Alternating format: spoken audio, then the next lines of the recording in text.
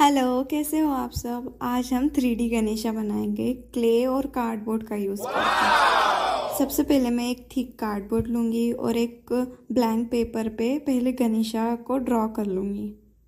और फिर कार्डबोर्ड को उसी शेप में कट कर लूँगी। उसके बाद में क्ले की हेल्प से गणेशा को शेप देना स्टार्ट करूँगी। इसके छोटे छोटे पार्ट जो है जो ट्रिकी पार्ट है वो पहले मैं ब्लैंक पेपर पे जो मैंने गणेशा ड्रॉ किया है उस पर कट करके और फिर फेविकॉल के हेल्प से कार्डबोर्ड पर स्टिक कर दूँगी। ये जो गणेशा मैं बना रही हूँ ना ये बहुत ही इजी और बहुत ही सुंदर दिखने वाला है। और इसकी सबसे अच्छी बात ये है कि इसे मल्टीपर्पज़ यूज़ किया जा सकता है। जैसे कि हल्दी कुमकुम दानी शो पीस वॉल हैंगिंग जो आप यूज़ करना चाहो ना, वैसा यूज़ कर सकते हो इसको।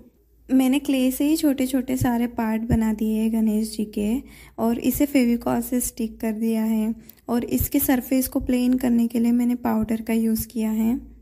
वो बहुत इजी है पाउडर लेना है और हल्के हाथों से उस पर प्रेस करके उसको सरफेस को एकदम प्लेन कर देना है।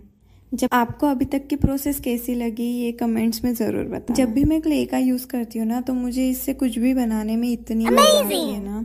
और पहले पहले मुझे थोड़ा सा डर लगता था इसे यूज़ करना और मुझे बिल्कुल भी नॉलेज नहीं था कि इसे कैसे हैंडल करूँ या फिर पर जब धीरे धीरे मैंने यूज़ करना स्टार्ट किया ना तब बहुत ही अच्छे से अब मैं कर पाती हूँ। आप भी अगर ट्राई करोगे ना तो धीरे धीरे आपको भी आ जाएगा। फिर जब ये क्ले अच्छे से ड्राई हो जाएगा, तब मैं इस पर जैसो का एक कोट अप्लाई करूँगी। अगर आपके पास जैसो नहीं है तो आप वाइट कोट कर सकते हैं।